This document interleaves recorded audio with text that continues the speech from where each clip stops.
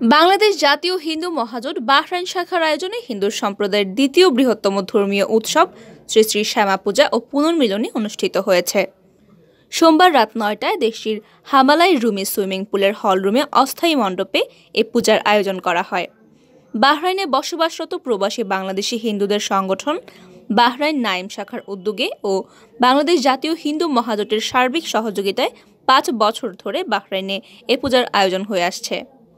অনুষ্ঠানে আয়োজক কমিটির মধ্যে উপস্থিত ছিলেন পূজা কমিটির সভাপতি অভিনাশ পাল, পূজা কমিটির প্রধান উপদেষ্টা সুকুমার যিশু, বাংলাদেশ জাতীয় হিন্দু মহাজোট বাহরাইন শাখার সভাপতি বকুল সূত্রধর, পূজা কমিটির সাধারণ সম্পাদক বাবু দুলাল দাস, হিন্দু মহাজোটের সাধারণ সম্পাদক বিষ্ণুপদ দেব, হিন্দু মহাজোটের সহসভাপতি মানিক দাস, হিন্দু মহাজোটের সাংগঠনিক সম্পাদক বিধান মজুমদার সহ সংগঠনের নেতৃবৃন্দ।